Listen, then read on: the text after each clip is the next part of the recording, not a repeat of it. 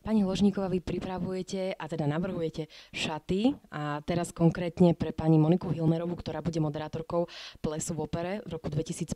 tak prezráte teda, aké bude mať šaty na sebe.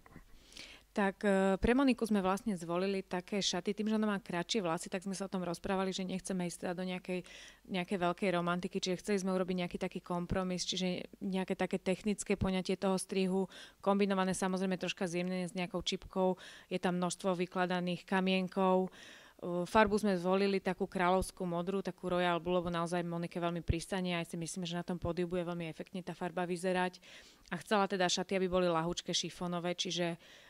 sú naozaj z takého jemného šifonu, je tam naozaj použité asi 20 metrov toho šifonu, čiže tým, že je ten materiál taký ľahký, jemný, tak sme tam použili toho troška viacej, aby zase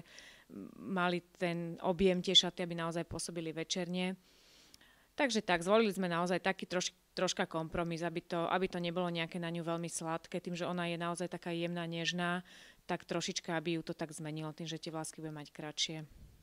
ste sa zhodli s pani Hilmerovou v podstate hneď na začiatku, alebo nejak ste možno vyberali, hľadali, čo vhodné by bolo teda na ten ples v opere?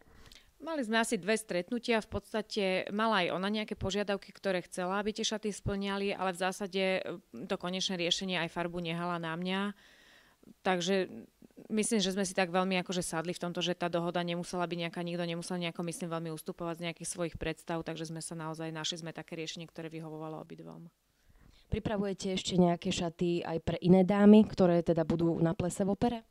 Áno, robíme viacej šiat, robíme asi 8 šiat uh, pre rôzne ženy, ktoré sa zúčastnia na tejto akcii.